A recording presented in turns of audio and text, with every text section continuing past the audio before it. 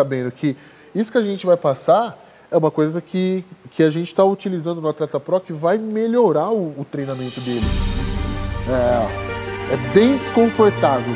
Vamos fazer hoje aqui, o William vai fazer pela primeira vez o Chinese Roll. Um pós-treino seria um trabalho de flexibilidade, né? Aí sim, mais puxado, essas coisas são diferentes. Importante aqui, ele manter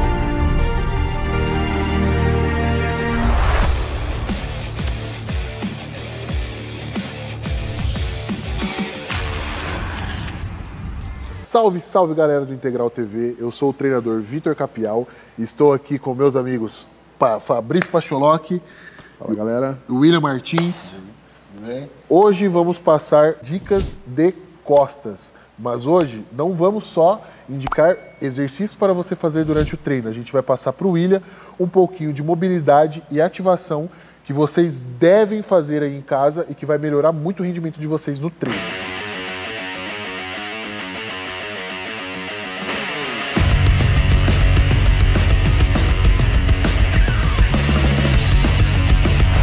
Galera, a gente vê muito no treino de dorsal o pessoal falando que não consegue ativar bem o dorsal. É comum as pessoas saírem num treino de costas sentindo muito bíceps, sentindo muito antebraço.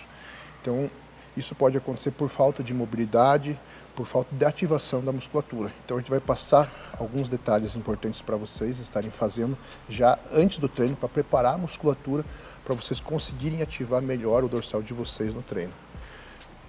Algo que é muito comum é o atleta ter o peitoral encurtado, o peitoral é muito denso e esse peitoral muito denso acaba limitando ele a fazer uma boa adução de escápulas. Então ele vai fazer uma remada, o ombro acaba rodando. Faz a rotação sozinho, né, Pacho? Tracionando e ele não consegue contrair bem a sua dorsal. Então o que, que eu gosto de fazer? Chega na academia, faz o aquecimento, né? vai lá, faz umas puxadas, faz umas remadas e antes de começar o treino, eu indico ele fazer um alongamento para peitoral. Então vamos lá, vamos mostrar três posições aqui que vocês vão conseguir alongar o peitoral como um todo. Pode né? ser. Então primeiro aqui o braço estendido. Então aqui, braço estendido, ele vai rodando e vai né, num limite ali onde começar já a pegar, começar a sentir. Segura quanto tempo cada vez? 15, 20 segundos. Então aqui só? Vamos fazer duas séries de 15 e 20. E não faz força contrária, deixa o peso do corpo levar.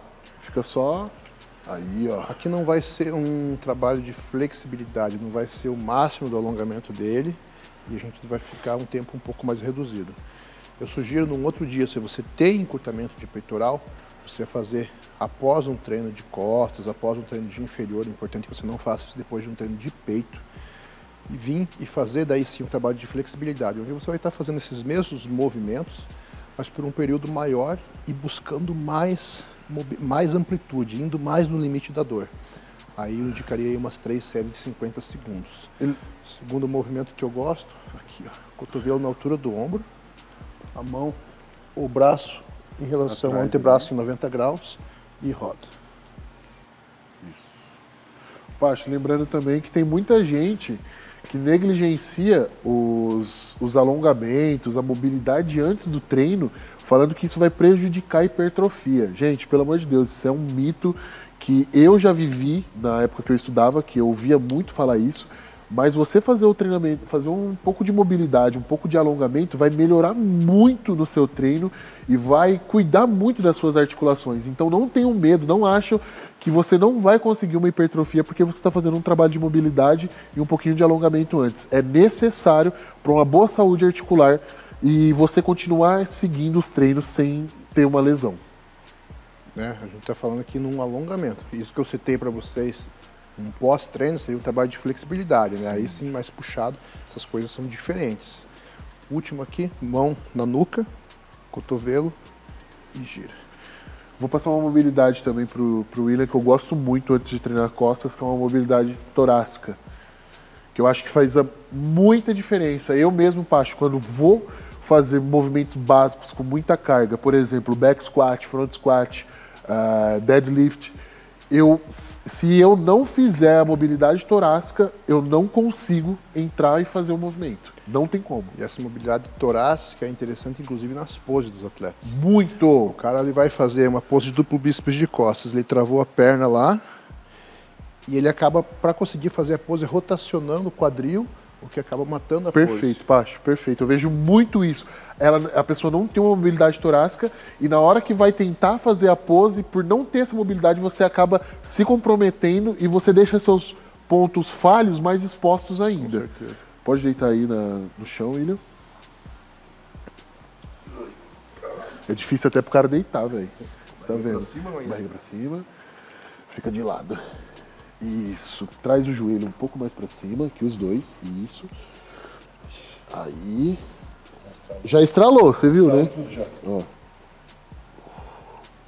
E agora você abre a mão lá. Estica a mão, abre. Isso. Abre, abre, abre. Já vai estralando tudo, ó. E aqui também você já vai alongando mais o peitoral. Volta lá. Eu já vi você fazendo isso aí com o Rafa. O Rafa, quando ele tá agachando, volta lá, ele sente e ele tá sentindo a lombar amarrada, muita dor, a gente sempre passa a Mackenzie, né?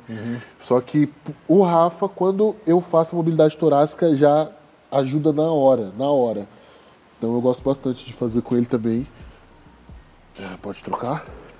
E você se solta, né? Eu sinto também, ô, ô Pacho, principalmente na hora de remar. Se eu não fizer uma mobilidade torácica, eu sinto a dorsal muito mais presa na hora do movimento, na hora de você fazer, de você conseguir trabalhar com o máximo de amplitude. Então, para você trabalhar com mais amplitude, com mais eficácia, você precisa ter a mobilidade. Bora? Acho que todo treino né, tem que ter uma preparação para o treino. Então, não chegar para o treino, fazer uma série de aquecimento no exercício já. Pau, tem que ter esse preparo. Mas costas e perna, sentindo bem? principalmente costas e tá perna, melhor. vocês vão precisar dar mais atenção. Fica mais de lado. Chega aí na academia, mais de deixa. Você tá muito 10, deitado aí. 15 minutos para fazer um trabalho. Joga Tenho certeza joga que vocês vão entrar para o treino muito mais preparado, musculatura muito muito mais melhor. preparada, muito mais ativada e vão conseguir ativar melhor e fazer um treino mais eficiente. E é uma coisa que eu gosto muito. Como ele falou, antes do treino, a gente precisa de certas preparações. Então, ativação com elástico, principalmente para dorsal, eu acho muito eficaz, porque, como o Pacho falou, a gente não. é, a gente recebe muitas reclamações da pessoa não sentir, não ter aquela conexão com, com a dorsal. Então, você fazendo um trabalho de mobilidade, de alongamento e depois fazendo um trabalho de ativação, eu tenho certeza que seu treino vai melhorar muito e você vai conseguir se conectar mais com a musculatura alvo que vai ser trabalhada. O William, isso aqui, o William tem vindo todo dia, ele vai treinar costa, ele chega, ele tem dado bastante atenção nisso. Na hora que ele for voltar a competir, a gente não vai revelar já, mas quanto ele melhorou a dorsal. Sim, sim. né? Às vezes as pessoas não dão importância, né? Porra, o negócio é erguer peso.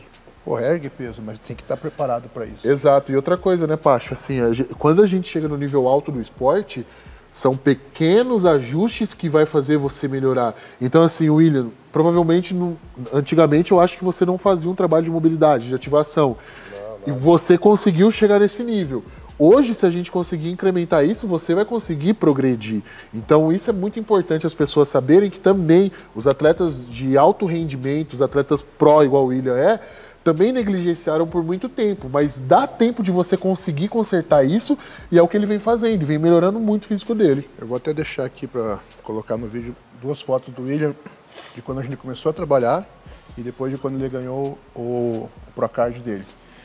Onde a gente vê claramente na foto de quando a gente iniciou como ele ativava muito mais trapézio posterior de ombro e o restante da musculatura não era bem ativada. O William ele já tinha, ele já sabia que o dorsal era um ponto fraco. Ele já marretava, ele trabalhava isso. Mas essa musculatura não estava sendo bem ativada. Então, são diversos detalhes que a gente cuidou em execução de, de exercício, mas também esse preparo da musculatura para ele conseguir melhorar e chegar naquela condição que ele estava ali. Foi de abril para agosto, né? Essa evolução que a gente vai deixar aqui. E depois agora, com mais um, um ano aí quase marretando, não, vai dar dois anos, né? Dois anos. Dois anos que a gente está trabalhando depois dessa foto do Procard. Então vocês imaginam o, quanto ele tem evoluído agora. E a mobilidade era bem pior, né? Bem Lembra pior. que eu, eu não conseguia nunca girar aqui, né? Fazia todas as puxadas, girando Fazendo uma rotação. é, O William, não, ele não, cons- ele não conseguia fazer um pulley aberto, ele não conseguia entrar na barra. A gente naquela época foi começando o trabalho de mobilidade, mas a gente fazia o pulley unilateral para ele conseguir puxar e ativar. Eu lembro que você mandou lá no grupo uhum. de, desse trabalho.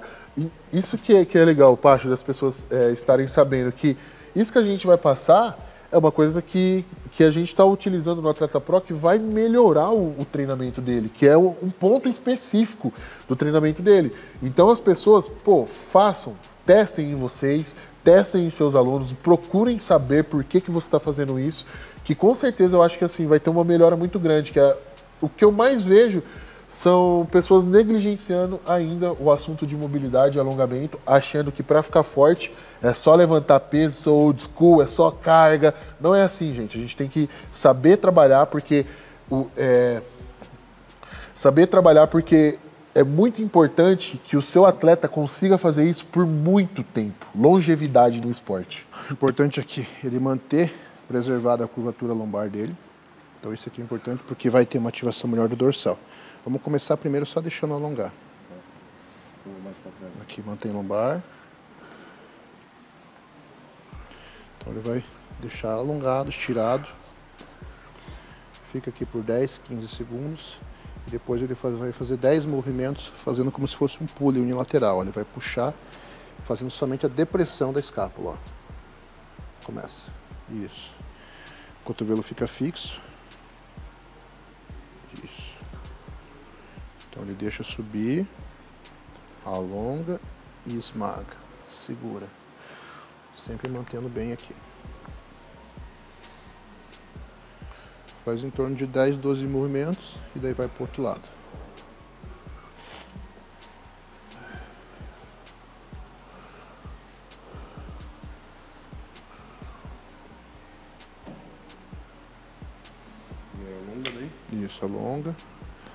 Na hora que alongar, dá até para fazer isso aqui. Vou mostrar por aqui, Matheus. Mantém a lombar. Vou mostrar por aqui, ó. Aquela alongada a mais lá. Isso, ó. Isso. Ele mantendo a lombar, ele gira um pouco o tronco para ainda alongar um pouco mais. Se você quiser jogar essa mão lá para dentro, você vai sentindo mais ainda.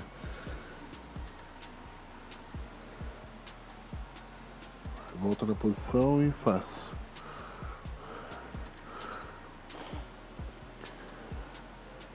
E o bom é que quando a gente passa um exercício desse de ativação, você consegue corrigir, porque pelo que você falou, o William fazia as puxadas muito errado. Uhum. Então ele já meio que se conecta neuromotor. Então assim, ele já entende automaticamente que é esse movimento que ele tem que fazer. Então, esse movimento que ele está fazendo aqui de pré-ativação é o começo do exercício. Então, você acaba deixando automático na sua cabeça para toda vez que você for fazer, já conseguir fazer de uma forma melhor, eu, eu acredito. Aí sugiro que vocês façam aí umas três séries de 10, 12 repetições para cada lado. Aí sim, depois do alongamento, essa pré-ativação, dorsal vai estar mais preparado para o treino. E agora a gente vai conhecer um exercício aí pouco utilizado que eu vejo o Vitor utilizando bastante e é bem eficiente. Vamos fazer hoje aqui, o William vai fazer pela primeira vez o Chinese Roll Roll, remada foca. É, aqui eu vou usar um apoio para frente, para ele ter mais essa amplitude do, de conseguir fazer o movimento. O William deu sorte, porque aqui a gente tem o apoio de prender o pé. Então ele vai ter um pouco do apoio da, dos membros inferiores para manter mais a execução dele certa. Se ele não tem esse apoio dos pés, fica muito mais difícil. Comece fazendo esse exercício, William. Puxo Remada. Eu quero que você puxe e a barra suba e desça na mesma direção. Não quero você trazendo mais para o umbigo. Só sobe ela. Isso. Pega ela mais aberta. Aí. Ó, isso aqui, é, tá, tá tendo dificuldade, William, para tirar? Pelo, por ser a primeira vez no exercício? É, ó. É bem desconfortável, porque você tem que manter os eletores toda hora, toda hora ativo. Puxa mais, William. Eu gosto de trabalhar a Chinese. Puxa mais, mais, mais. Vamos?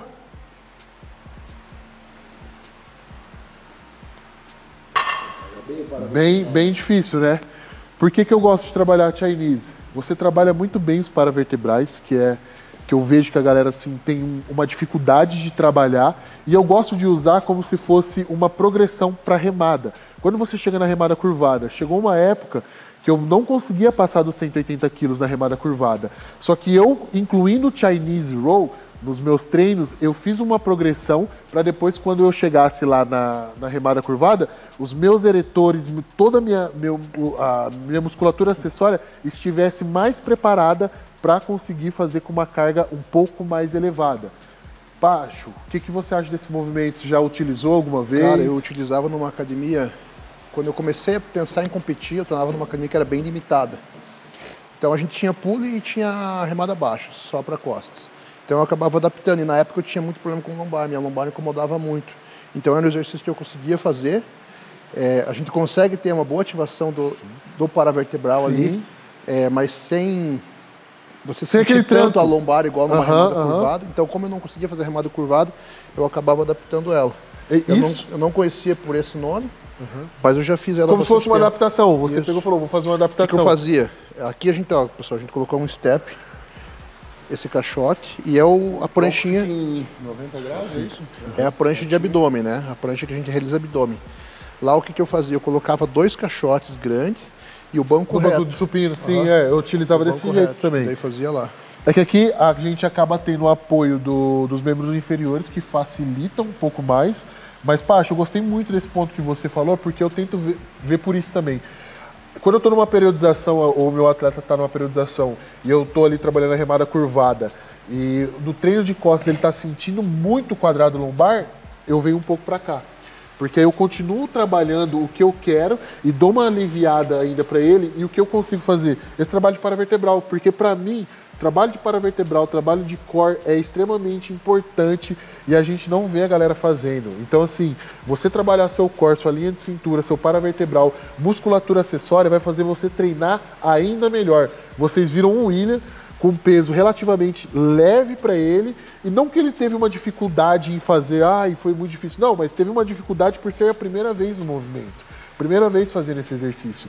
Então assim, se você continuar fazendo, você vai ter uma melhora muito grande e é um exercício assim que eu adoro e tá sempre em todas as minhas minhas periodizações de treino. Vou colocar essa semana aí pro Wade e pro Zan, que eles vão ter um pouco de Chinese. Trabalha bem isométrico, né? O paravertebral, né? Vou voltar a fazer ela também. É interessante a ideia da gente, quando a gente pensou nesse quadro aqui, nessas nossas dicas, era, o principal deles era ressuscitar alguns É, exercícios como exato. esse, que são eficientes, mas acabam ficando esquecidos. Acho que é isso, né? É isso aí. Galera, espero que vocês tenham gostado, tá? Deixem nos comentários o que vocês querem saber mais sobre treino comigo e com o Pacholoc. Curta, compartilhe, se inscreva no canal. Muito obrigado a todos que estão compa- compartilhando e acompanhando o nosso trabalho. Os. Valeu, galera. Obrigado por acompanhar a gente. A ideia aqui é trazer muito conteúdo e muita informação para ajudar você. Valeu, tamo junto.